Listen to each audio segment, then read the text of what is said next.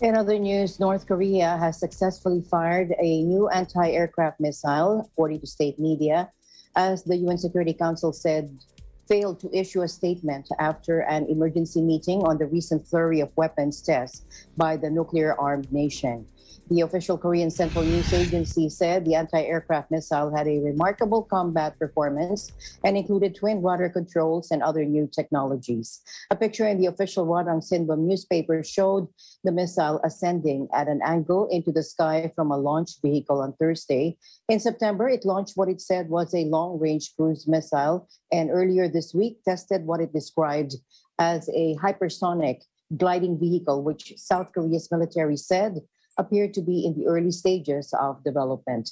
Anti aircraft missiles are much smaller than the ballistic missiles the North is banned from developing under UN Security Council resolutions and harder to detect from afar.